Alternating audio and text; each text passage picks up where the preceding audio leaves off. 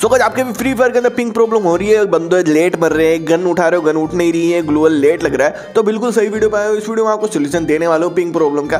साथ में ये क्यों हो रही है वो भी आपको बताने वाला सो आज वीडियो स्टार्ट करने से पहले वीडियो को लाइक नहीं किया चैनल को सब्सक्राइब नहीं किया तो प्लीज़ कर लीजिए क्योंकि आपको यहाँ पर हर प्रॉब्लम का सोल्यूशन प्लस अपडेट दिया जाता है। सो स्टार्ट करते हमारे आज के वीडियो को। इसके दो रीजन आपको बता दो तो एक तो जियो एयरटेल वगैरह वगैरह के सिम्स है उसमें प्रॉब्लम होती रहती है। सोल्यूशन भी बताऊँगा दूसरे रीजन की बात करें तो हो सकता है ग्रेना ने खुद ने ये सर्वर डाउन किया हो ताकि सबके पिंग प्रॉब्लम हो, क्योंकि फ्री फायर इंडिया लॉन्च होने वाला है। अगर इसमें पिंग अच्छी चली तो फ्री फायर इंडिया कौन डाउनलोड कर। इसीलिए हमारे फ्री फायर मैक्स में ये पिंग प्रॉब्लम दी जा रही है। जैसे फ्री फायर इंडिया लॉन्च होकर हम डाउनलोड करने भागे भागे चले जाए। भाई, गरेना को कौन समझाए? हम तो वैसे भी भागे भागे जाएँगे या फ्री फायर इंडिया का तो हमको कब से वेट है?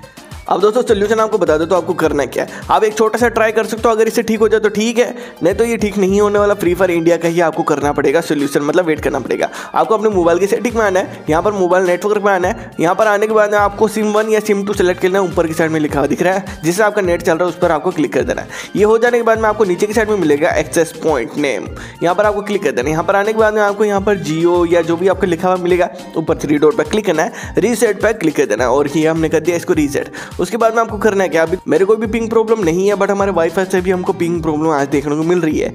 तो गाइज़ यहाँ पर आपको सिंपली आई बटन पर क्लिक करना है। सबसे नीचे चले जाना है, ठीक है? सबसे नीचे आने के बाद में अपने एक्सेस पॉइंट में आपको देखने को मिलेगा एपीएन टाइप ठीक है? आपको ये सेम चीज़ एपीएन टाइप में लिख लेनी है जो यहाँ पर मैंने लिख रखा है। उसके बाद में आपको मिलेगा एपीएन प्रोटोकॉल आपको एपीएन प्रोटोकॉल पर क्लिक करना है आईपी पर क्लिक करके ऊपर से ऊपर सिंपली क्लिक कर देना है। उसके बाद में देखना है नेट चल रहा है, नहीं चल रहा है? अगर नहीं चल रहा है तो आईपी की जगह आईपी पर क्लिक करके उसके बाद में आपको यहाँ पर सेव कर देना है। उसके बाद देखना आपका नेट इतना अच्छा चलेगा, कोई प्रॉब्लम नहीं होगी। और फिर भी आपको प्रॉब्लम हो तो समझ लो ना फ्री फायर इंडिया का ही वेट करना है। फ्री फायर मैक्स को हटाने की प्लानिंग चालू हो चुकी है। अगर आपको भी पिंक प्रॉब्लम हो रही है तो कमेंट में येस निकला, देखते कितने बंदों को ये पिंक प्रॉब्लम हो रही है। इस वीडियो को लाइक कर देना, दो दोस्तों में शेयर कर देना। इस वीडियो में तो मिलता है नेक्स्ट वीडियो में। Thank you